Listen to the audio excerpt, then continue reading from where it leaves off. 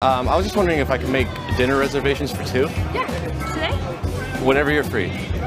Dinner reservations for today too? Well, whenever you're free. Like today though, right? Yeah, are you free today? Tonight? What's your name?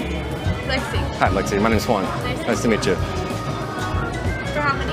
Uh, two. Just me and you. Oh! oh, so no. Yeah, whenever you're free. Is what I thought you were here.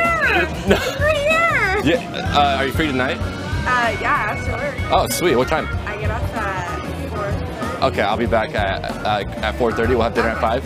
Okay. Awesome. Sounds good. Perfect. I'll see you then. Okay.